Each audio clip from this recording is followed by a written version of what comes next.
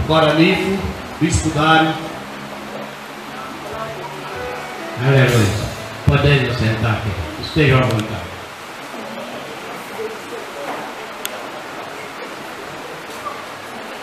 Amados, no livro de Efésios, no capítulo 4, no versículo 11 e 12, está escrito assim: E Ele mesmo, o Senhor Jesus, deu uns para apóstolos, outros para profetas, outros para evangelistas e outros para pastores e doutores, querendo o aperfeiçoamento dos santos para a obra do ministério, para a edificação do corpo de Cristo Jesus.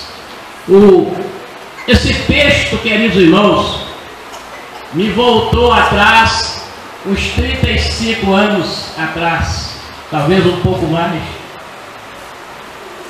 quando eu estava na mesma qualidade, a situação de vocês.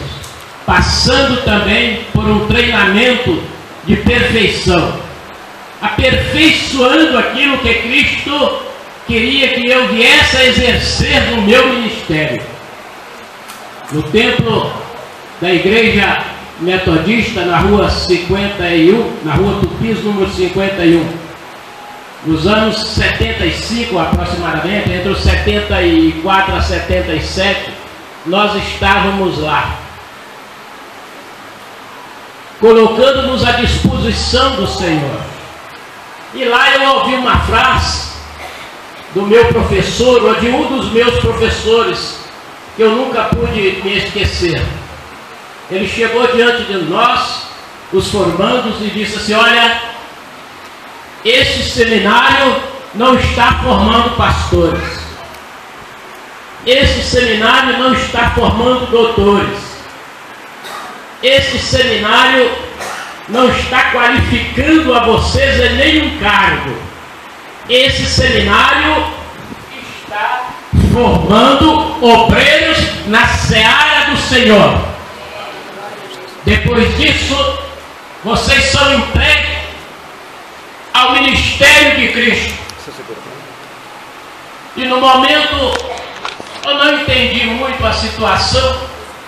Mais tarde na continuação da formatura ou da formação que nós víamos recebendo, a mente foi abrindo e a gente passou a entender a vontade de Deus. Hoje nós estamos lendo, e eu entendi muito bem porque ele diz, e ele mesmo, o Senhor Jesus, porque não são os professores que dão cargo, eles formam os obreiros, e o Senhor Jesus capacita e escolhe para a obra em que a Ele aprove. A Bíblia diz: Ele mesmo deu uns para apóstolo, foi Ele, não sou eu, não é o pastor Roger, o reverendo Walter, não é o pastor Adil, pastor Edmeus que está conosco, pastoreou essa igreja por longos anos. Não são os pastores que qualificam a vocês ao ministério, mas o Senhor coloca cada um no seu lugar. E ele diz: é Ele mesmo que deu uns para apóstolos, outros para profeta, outros para evangelista, outros para pastores e doutores. Queridos irmãos, o importante entendermos aqui é que quando o Senhor nos capacita e nos coloca em nosso lugar, Ele tem um objetivo e nós lemos também: o objetivo do Senhor é querendo o aperfeiçoamento dos santos para a obra do ministério. Ele quer o aperfeiçoamento dos santos para a obra do ministério. A perfeição é o símbolo da pureza. A perfeição é o símbolo da vontade de Deus em Cristo aqui na face da terra. Quando Ele capacita e requer de nós a perfeição no ministério, na posição em que Ele nos coloca, Ele está exigindo de nós sinceridade, Ele está exigindo de nós uma clareza naquilo que nós exercitamos. Ele está mostrando que a obra do reino do Senhor aqui na terra não é brincadeira, não é fantasia, ela é real. O aperfeiçoamento e quando nós falamos em aperfeiçoamento, nós precisamos entender, entender, queridos amados, meus queridos formandos, que esse aperfeiçoamento se dá a cada dia da nossa vida. Ele não vem de um dia por outro, de uma vez por outra, instantaneamente, como relâmpago. Na medida que nós vamos nos aperfeiçoando e chegando a Deus em Cristo, naturalmente Ele vem chegando a nós outros. E é por isso que o Senhor nos chamou. E como eu disse aqui, quando eu estava lá, me treinando, me capacitando, formando para o aperfeiçoamento de Cristo na minha vida. E vocês, sem dúvida alguma, nos longos meses, aprenderam que Cristo é a pessoa central e mais importante da vida de cada um de vocês. Se não pensaram assim, estão errados em vossas carreiras. Quando nós nos colocamos à disposição do ministério ao qual fomos chamados, nós precisamos entender, estar no céu, que Cristo é a pessoa central da nossa vida, do nosso chamado, digno de toda honra e toda glória. E nós precisamos desempenhar o nosso ministério com muita sinceridade e certeza de que Ele nos chamou e jamais iremos decepcioná-lo. Glória a Deus. Infelizmente, podemos fechar aqui em dizer que muitas vezes Cristo sente decepcionado com alguns homens na terra, mesmo chamados. Mas não é de estranhar, porque isso também aconteceu lá no passado. Aconteceu mesmo com aqueles que seguiam, que serviam o Senhor. Por isso ele diz que muitos são chamados, mas poucos são glória. E entendemos que vocês, formandos desta noite, foram escolhidos para uma tão grande obra e importante do ministério do nosso Senhor e Salvador Jesus Cristo. Palmas para o Senhor.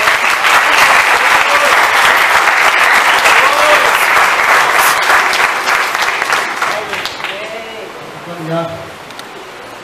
Caminhar mais algumas milhas com a palavra dessa, né, queridos? Graças a Deus. Nós vamos ouvir um louvor com a cantora Ka- Karen. Como está Karen?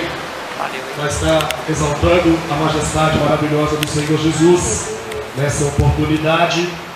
E logo após nós vamos ouvir a oradora, a Natália, que vai estar representando aí a turma Bispo Dário, em nome de Jesus. Deus. Cantora Karen, Ali,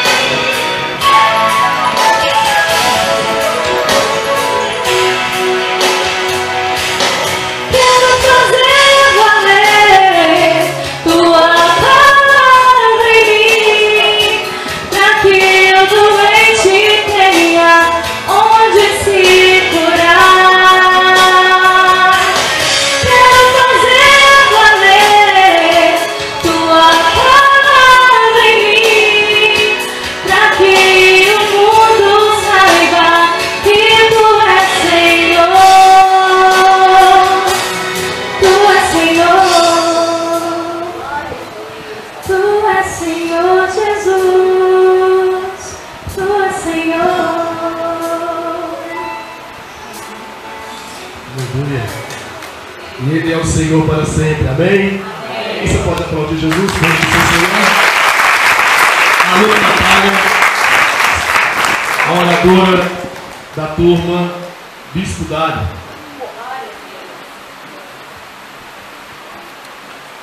Glória a Deus. Boa noite. Paz Senhor para todos. Amém? Vamos lá. Essa missão aqui. Glória a Deus. Bom, é com muito orgulho que representa a turma do seminário. Durante esses dez meses que passamos juntos, compreendemos uns aos outros, sabemos respeitar as opiniões diversas, foram finais de semana corridos, escolhidos e preparados por Deus. Cada um com seus compromissos, seus afazeres, seja ele até profissional, né, Antônio? Foi questão de escolha para chegar até aqui. Enfrentamos a distância, como nossa amiga da turma Patrícia. Pegar dois ônibus não é fácil, principalmente no final de semana. Enfrentamos o cansaço, como nosso amigo Pablo, Pablo, Pablo e Fábio. Trabalhar a madrugada toda. E logo cedo estar dentro de sala de aula, absorvendo as matérias. Houve alguns cochilos. Vários. Né, Pablo? Afinal de contas, lutar contra o sono não é tarefa fácil. Nos nossos intervalos, sempre um bom papo. E é claro, um delicioso café. E aquele bolo amarelo. Bom, nós conseguimos. Deu para rir bastante. Teve um aluno bem experiente que nos divertiu muito com seus comentários e experiências. Nem precisa falar o nome, né, turma? Todo mundo sabe que foi o pastor Adilson. em cada uma das aulas, Deus falou com a gente. Ele abriu nossos olhos espirituais, fomos exortados, fomos moldados por Deus. Professores bem qualificados, inteligentes, responsáveis e, acima de tudo, homens de Deus. Queremos agradecer aos nossos familiares que estão aqui nesta noite, seja ele esposa, esposo, pais, filhos. Queremos agradecer a vocês, amigos, que confiaram no nosso potencial. Agradecemos aos nossos pastores, as pessoas aqui presentes, né, que vieram com tanto amor e carinho nos honrar. Agradecemos ao pastor Walter e desejamos que a sua escola cresça cada vez mais com, com sabedoria. Agradecemos todos vocês. Obrigada.